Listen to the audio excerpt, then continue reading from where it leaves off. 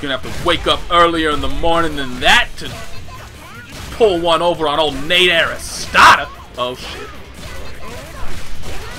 Oh shit.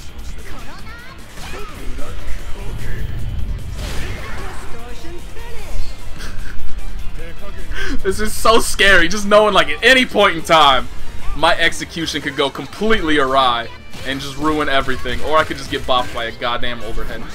That's actually not a reversal anymore, is it? Oh fuck, that's a reversal. This bitch. This bitch! She's reading my inputs now. It's not fair. Oops, that was useless. Oh.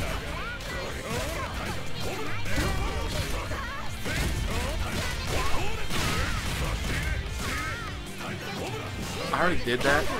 I don't know why.